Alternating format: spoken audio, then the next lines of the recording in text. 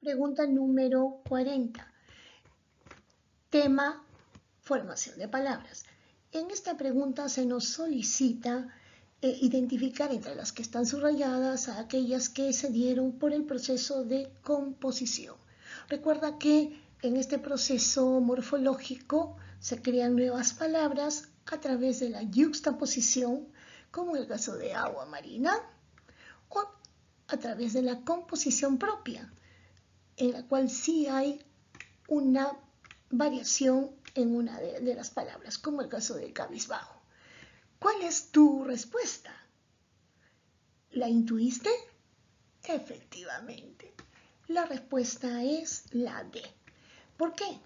Porque aquí tenemos la palabra sacacorchos, en la cual se unen dos palabras, igual como en abrelatas. Por lo tanto, esa es la respuesta correcta.